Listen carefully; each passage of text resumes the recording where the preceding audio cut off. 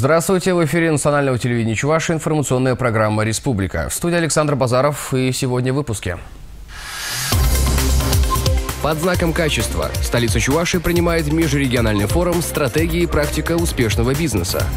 То ли еще будет. Полпред президента в Приволжском федеральном округе в режиме видеоконференции обсудил с регионами подготовку к аттестационной кампании.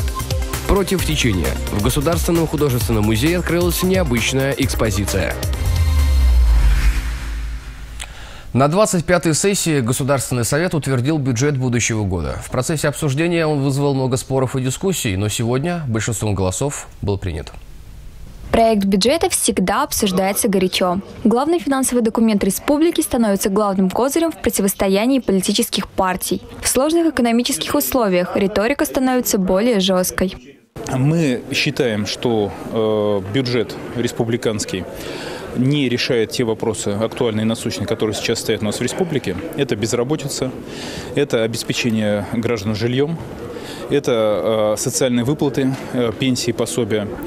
Все, на все эти острые актуальные вопросы бюджет не дает ответов. Однако парламентское большинство считает бюджет вполне работоспособным. Он по-прежнему сохраняет ярко выраженную социальную направленность и позволит правительству выполнить все обязательства. Самое главное, бюджет реальный, но он обеспечит нам э, в следующем году, и прежде всего в следующем году, обеспечит жизнеобеспечение всех слоев населения, прежде всего, будут функционировать школы, садики, больницы, будет ходить транспорт, будут тепло в домах. Это же самое главное. Да, это сначала, и то, и другое сразу не получается. Но если мы хотим жить лучше, давайте лучше работать.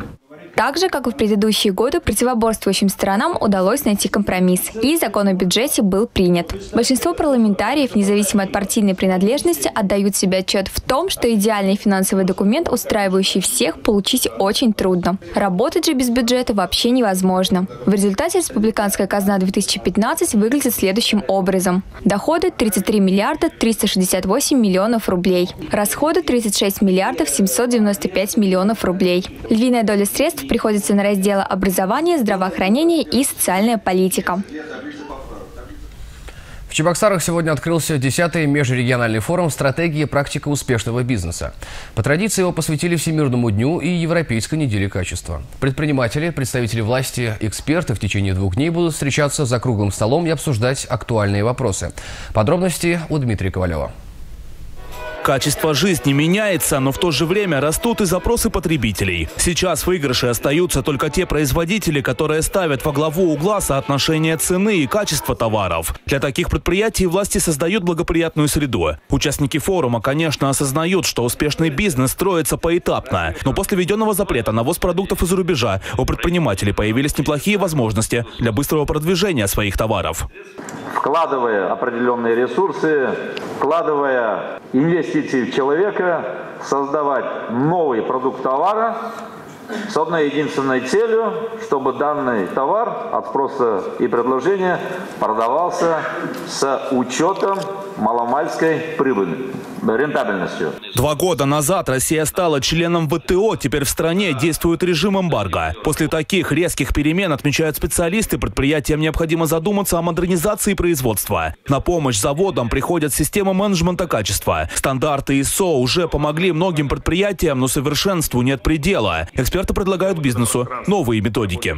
Главное в менеджменте, глубокое мое убеждение, это работа с персоналом. Вызовы, которые стоят перед нами, они сегодня еще усугубляются теми условиями, которые созданы, но они за последнее время как-то не очень сильно э, решаются. Мы видим, что в обрабатывающей промышленности мы имеем существенно очень малую долю в нашем ВВП, не следует с сырьевой направленности. Мы продолжаем оставаться неконкурентоспособными по издержкам труда, энергии, энергии и так далее. В Чувашии системы менеджмента внедрили более 220 предприятий. Эксперты отмечают, что сертификаты далеко не главный показатель. Важно, чтобы все работники принимали участие в модернизации процесса и внедряли в дело мировые стандарты. Только тогда удастся реализовать стратегию успешного бизнеса сполна. Мы фактически должны научить людей решать их собственные задачи. И как только они начнут решать свои собственные проблемы, стеречь проблем предприятия, тогда и начинается фактически синтез вот этой собственной производственной системы. На пленарной части бизнесмены, чиновники и эксперты обозначили болевые точки на пути качеству. Их надо убирать, чтобы двигаться дальше. Как построить системы энергоменеджмента, разработать новые модели маркетинга. Вот лишь некоторые темы дискуссий. В них принимают участие и гости из-за рубежа. Это конференция, это форум очень вовремя потому что не случайно называется стратегия и практика успешного бизнеса. Если организация не имеет своей стратегии для развития, тогда мы можем сделать все угодно по сертификации, по качеству, по управлению качества и так далее, и контроль качества, все угодно. Но если мы не знаем, куда мы идем, тогда мы не знаем, зачем мы это сделаем. По традиции на форуме наградили лауреатов конкурсов в области качества. Награды получили предприятия, которые уже успели освоить современные стандарты. В список 100 лучших товаров России вошли Лара, Аконт, Ядринский мясокомбинат. Марку качества получили Чебоксарский элеватор, Химпром и даже детский сад номер 112. Призеры выставили свою продукцию в фойе библиотеки. Дмитрий Ковалев, Александр Петров. Республика. Сегодня в Чебоксарах открылся учебный центр крупной строительной компании. Современная академия разместилась на базе техникума строительства и городского хозяйства. С появлением этого центра качество образования в этой отрасли должно выйти на новый уровень, отмечают эксперты. В каких условиях будут обучаться студенты, оценил и глава республики Михаил Игнатьев. В строительной отрасли наблюдается острая нехватка квалифицированных кадров. Эту проблему намерены решить в учебном центре «Технониколь». Специалистов здесь будут обучать основным методам работы с современными материалами. Начинающим и опытным строителям помогут набрать опыт работы с новейшими технологиями по устройству кровель, фундаментов, фасадов и не только. Это гибкая черепица шинглас. Это материал, который применяется на скатных кровлях при различных уклонах. То есть это может быть и минимальный уклон, и максимальный. Облицовывают даже фасады.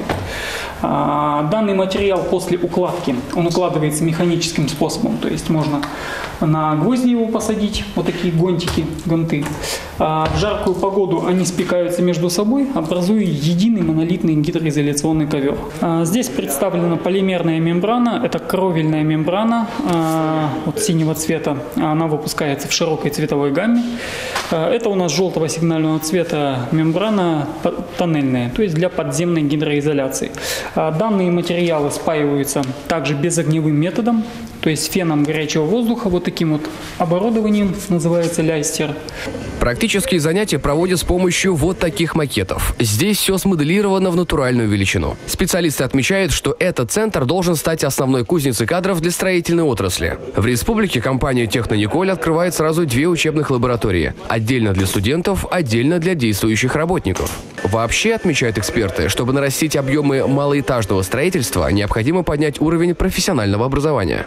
Здесь очень важно, чтобы у нас была интеграция между учебными заведениями и университетами, и колледжами, и техникумами, и производителями материалов и строителями. Если эта интеграция будет, то будет понятно, какого качества люди нам нужны, выпускники.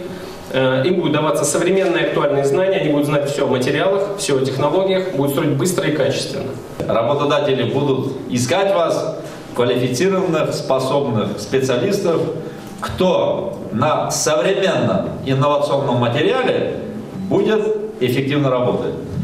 Ибо каждый производитель любого товара, каждый, кто оказывает соответствующие услуги, старается сокращать издержки производства за счет изменения технологий. Проблему подготовки квалифицированных специалистов обсудили за круглым столом. Его участники отметили, что работникам строительной отрасли необходимо регулярно повышать квалификацию. Но учебных центров катастрофически не хватает. Это перспективное направление, и его планируют развивать. Качество строительства зависит от материала и квалификации рабочих. Вот здесь как раз центр позволяет использовать современные технологии, использовать современные качественные материалы и, соответственно, улучшить качество и скорость строительства. Это позволит нам вовремя сдавать детские сады, те же самые, которые у нас уже, ну, скажем так, программа расширяется и качество должно быть соответствующее. И школы, которые мы начнем в ближайшие годы строить. Первый набор студентов в учебной лаборатории уже состоялся. Практические занятия здесь начались сразу после торжественной церемонии. Александр Базаров, Дмитрий Ковалев, Елизавета Зайцева, Сергей Рябчиков. Республика. 3 декабря выпускникам общеобразовательных школ предстоит первое из итоговых испытаний – сочинение. Его результаты определят и допуск ЕГЭ. Сегодня полпред президента России в Приволжском федеральном округе Михаил Бабич в режиме видеоконференции обсудил с регионами подготовку к проведению сочинения и итоговой аттестационной кампании в целом.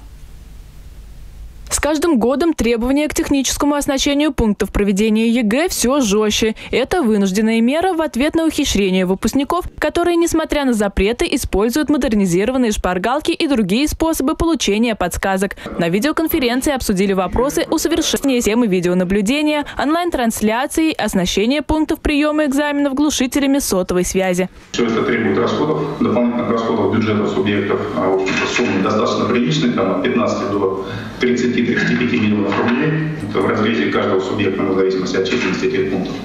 Вот, это деньги, которые бюджетом не были предусмотрены, тем более, так они должны быть по статье образования, поэтому надо подумать о целевых субсидиях. В Чувашии, как и в прошлые годы, уже начала работу горячая линия. Для всех участников ЕГЭ действует тематический сайт. В этом году оборудовано 38 пунктов сдачи экзаменов.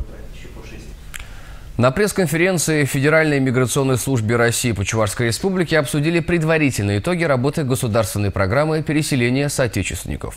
Актуальность тем обусловлена ситуацией в Украине.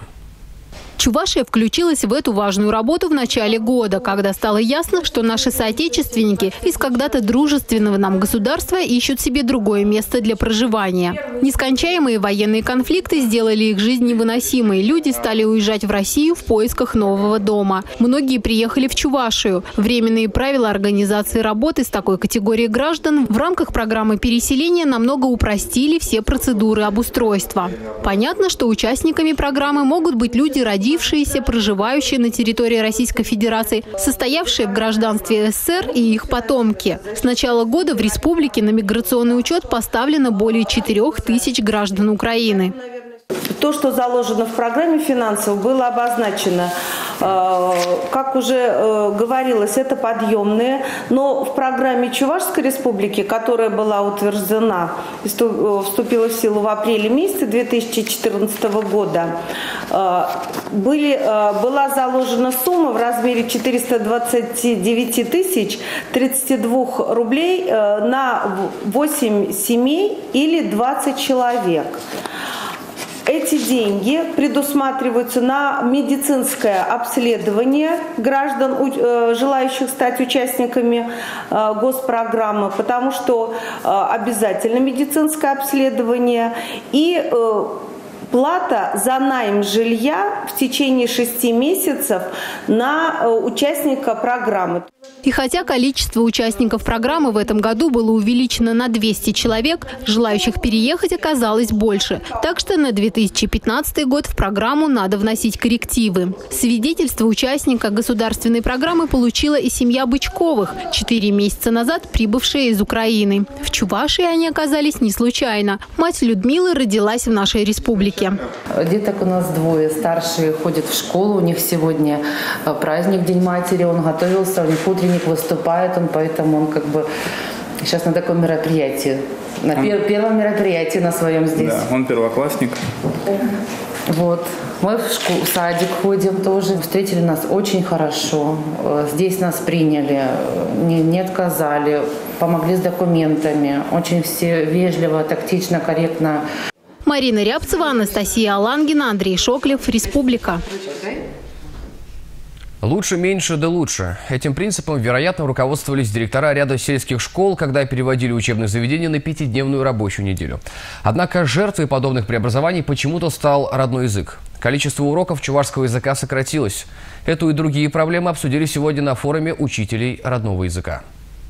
Форум посвятили 115-летию со дня рождения классика чувашской поэзии Михаила Сеспеля. Он внес неоценимый вклад в развитие родного языка. И вряд ли предполагал, что спустя столетия возникнут проблемы в его преподавании. Так, в Аликовском и Комсомольском районах в связи с пятидневкой количество уроков чувашского сократилось. Министерство образования с этим не согласилось. Вероятнее всего, школы либо вернутся к привычному графику занятий, либо укоротят каникулы.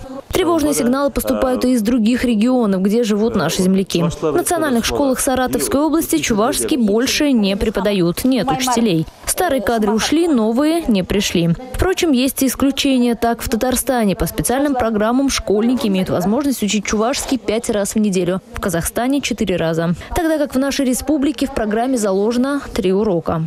Все мы знаем, что дерево растет ввысь, и у него есть корни, которые идут вглубь. Обрежь эти корни, но дерево умрет. То же самое происходит с народом, чувашским народом. Если мы обрежем корни, мы будем вымирать. Поэтому образование детей, чувашских детей, надо начинать мне кажется, с детского садика. Конечно, со временем методики изучения чувашского языка меняются, и то, что было интересно когда-то, совсем не привлекательно в наши дни. Но у молодых преподавателей, судя по всему, есть идеи. Для того, чтобы дети полюбили наш чувашский язык, нам нужно с детства детей получать. Получается, э, чувашские игры надо придумать, чувашские какие-нибудь занятия, песни, кружки, чтобы, было, чтобы все это происходило на чувашском языке, чтобы де- детям это было интересно с малых лет. Ольга Пырочкина, Регина Кубайкина, Андрей Спиридонов, Республика.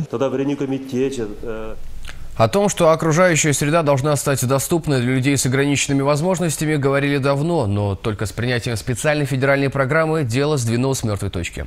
Сегодня в Чебоксарах прошла первая межрегиональная научно-практическая конференция, посвященная реабилитации и интеграции этой категории людей в общество. Равные возможности не на словах, а на деле. Таков главный постулат программы «Доступная среда». Благодаря ей инвалиды почувствовали поддержку государства в своем жизнеобеспечении. У каждого региона свой набранный опыт в реабилитации. Но готовые методики не должны быть принадлежностью только одной группы лиц. Чем больше людей о них узнают, тем больше помощи получают больные люди. Люди с ограниченными возможностями здоровья в настоящее время должны быть в полном объеме интегрированы в наше общество, чтобы ничто не являлось э, препятствием для реализации их э, возможностей э, при получении образования, при доступе к объектам культуры, объектам здравоохранения, социального обслуживания населения, при занятии физкультурой и спортом. На конференции было представлено около 40 работ в сфере поддержки инвалидов. В Чувашию приехали специалисты из Республики Мариэл, Нижнего Новгорода и других городов. Так Мария Курникова рассказала о системе обучения плаванию детей и подростков с инвалидностью, которая работает в Нижнем Новгороде уже в течение двух лет. В планах открытие секции конного спорта, спортивных игр и легкой атлетики для не очень здоровых ребят. Первым нашим постулатом было то, чтобы мы не навредили ни в коем случае э, детям и подросткам, которые будут заниматься у нас в секциях. И э, программы были разработаны нашим научно-педагогическим коллективом. Подобные программы реализуются и в Чебоксарах. Более того, есть спортивно-адаптивная школа, в которой люди с ограниченными возможностями занимаются не только лечебной физкультурой, но и спортом высших достижений. Воспитанники этой школы достойно выступают на различных всероссийских и международных соревнованиях. Их тренеры тоже стали участниками конференции. А те, кто не сумел приехать в Чувашию, будут иметь возможность узнать о новых методах реабилитации и специального сборника. Он выйдет в ближайшее время. Екатерина Абрамова, Расиль Мухаметов, Республика. В Чувашском государственном художественном музее открылась межрегиональная выставка-конкурс «Красные ворота против течения». Она проходит под эгидой Российской академии художеств. В этом году организаторы конкурсной выставки взяли за основу идеи основателя всей современной педагогики Яна Амоса Каменского, который в середине 17 века додумался использовать визуальное сопровождение всех изучаемых предметов и понятий. Честно говоря, с постулатами Каменского мы не знакомы, но, попав на выставку, нетрудно догадаться. Именно так представляют себе современную жизнь наши художники. Экспозиция – плод рефлексии на тему человеческих отношений, места и роли изобразительного искусства в культурном пространстве. Ведь существуют какие-то тренды, существуют какие-то тенденции в современном искусстве, и мы от этого никуда не можем деться.